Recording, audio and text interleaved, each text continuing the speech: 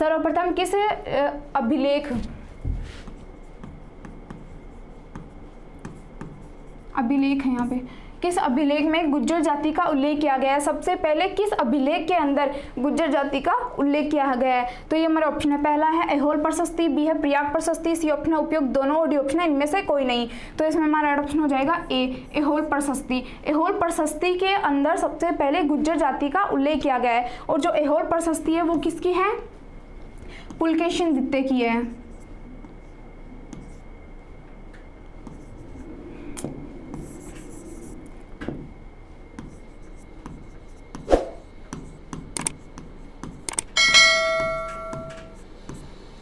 पुलकेशन द्वितीय की रचना है एहोल प्रशस्ति, जो कौन है चालुक्य शासक है?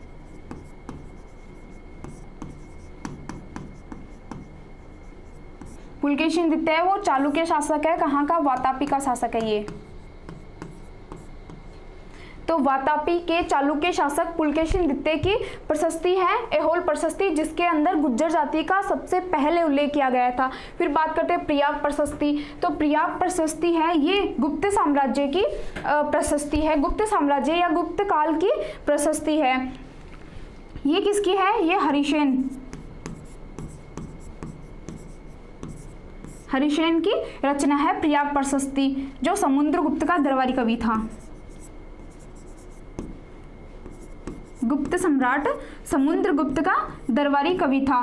कौन? हरिशेन तो इसकी प्रशस्ति है प्रयाग प्रशस्ति और प्रयाग प्रशस्ति के अंदर सम्राट गुप्त सम्राट समुद्रगुप्त का की योग्यताओं या इनकी जानकारी हमें मिलती है कहाँ से? प्रयाग प्रशस्ति के अंदर। क्योंकि प्रयाग प्रशस्ति के अंदर समुद्रगुप्त की योग्यताओं इसके साहस और इन, इनकी आ, इनका उल्लेख किया गया है। किसके द्वारा? हरिशेन के द्वारा, जो इसका दरबारी कवि था। ओके गाइस जो प्रयाग प्रस्थिति है, वो गुप्त काल की है, और जो एहोल प्रशस्ति है, वो किसकी है? पुलकेशिन द्वितीय चालुक्य शासक पुलकेशिन द्वितीय की है।